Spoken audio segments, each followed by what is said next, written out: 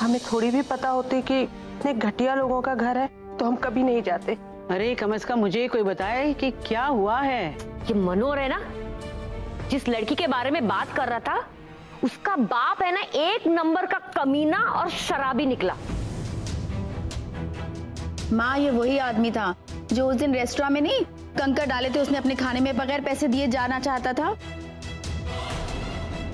सच पूछो तो किस्मत से बचे हम लोग।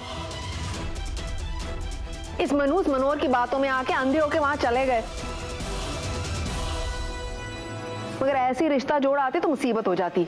बहुत मुसीबत खड़ी कर दी तेरे बाप ने। विहान की माहों का ऐसा अपमान किसी ने नहीं किया हो। कोई कसर नहीं छोड़ी तेरे बाप ने उन्हें जलील करने की। साफ़ साफ़ कह दिया उनसे कि अपनी बेटी की शादी तभी करूँगा जब वो हर महीने हमें पैसे देंगे। अरे तुझे बेचना चाहता है तेरा बाप? वो कभी तेरी शादी नहीं होने देगा।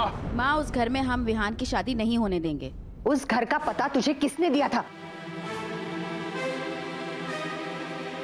वो माँ एक दोस्त ने बताया था कि लड़की अच्छी है। मतलब? तू उस लड़की को जानता नहीं था?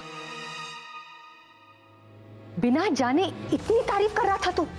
ऐसे घर में विहान का रिश्ता करवाना चाहता था तू?